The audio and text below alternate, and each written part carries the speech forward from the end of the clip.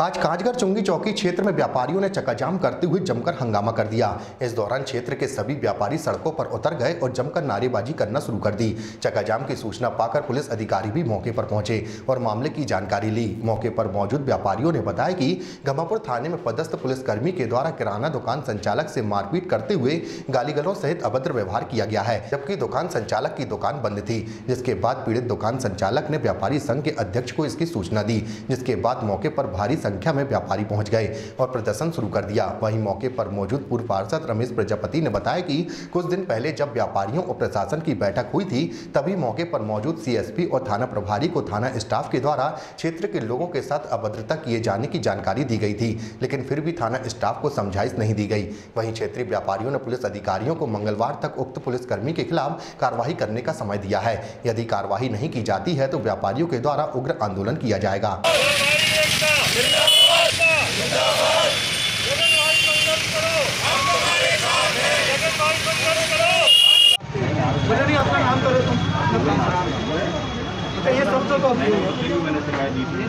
दुकान के सामने खड़ा था, मैं अलग कुमार बचवानी अनग्रहण स्टोर का संचालक हूँ। मैं अपनी दुकान के सामने खड़ा था मेसराम जी की गाड़ी आई।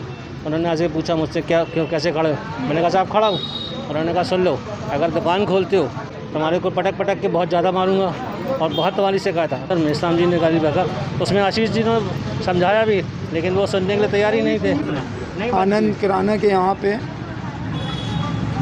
एक एसआई जो हैं मेसराम आए बोले, कैसे खड़े हो?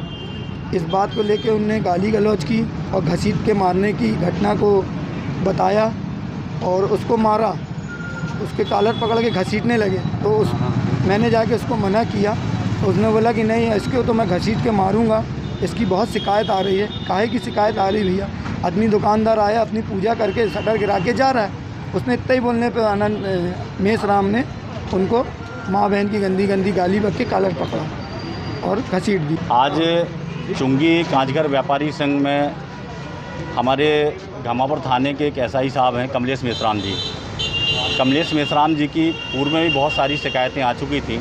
आज हमारे एक आनंद कराना वाले भाई सुबह आए। हम चूँकि हिंदू हैं तो सुबह पूजा पाठ करके वो दुकान के बाहर खड़ा था, शटर बंद थी।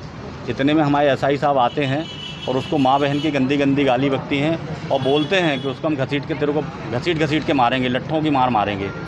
इस एवज में जब आनंद ने हमारे चुंगी कांचगर व्यापारी संघ के अध्यक्ष जगन पिल्ले जी को बताया कि भैया ऐसी ऐसी बात है, तब उन्होंने टीआई साहब को बोला, सीएसपी मैडम को बोला तो यहाँ पर पूरा स्टाफ आया। पूरे सीएसपी मैडम के साथ में भी महोदय के सामने उनको उनकी घटना से अवगत कराया।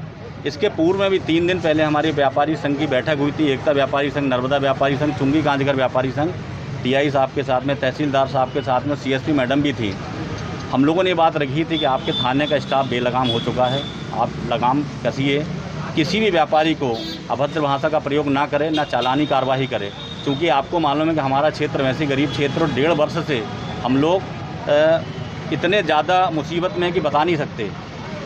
तो हमारा सिर्फ़ एक निवेदन ये था कि अगर एसपी महोदय, सीएसपी महोदय मंगलवार तक कमलेश मेश्राम के ऊपर अगर कार्रवाई नहीं करती हैं तो हम तीनों व्यापारी संघ, नर्मदा व्यापारी संघ, एकता व्यापारी संघ और चुंगी कांचघर व्यापारी संघ के तीनों अध्यक्ष और पूरे दुकानदार मिलकर कांचघर चौक पे एक बृहद चक्का जाम करेंगे अ, व्यापारी संघ की ये शिकायत थी कि इनका ये कहना है कि इनकी एक दुकान के सामने अ, मतलब दुकान का मालिक जो है वो टहल रहा था। पुलिस आई उसे लगा कि हाँ दुकान खुली हुई है। तो इनका कहना है कि स्टाफ के द्वारा बदतमीज़ी की गई और हम इसको दिखवाएँगे मैटर को कि क्या है इसमें सच्चाई कितनी है। उसके बाद अगर कुछ ऐसा पाया जाता है तो कार्रवाई की जाएगी।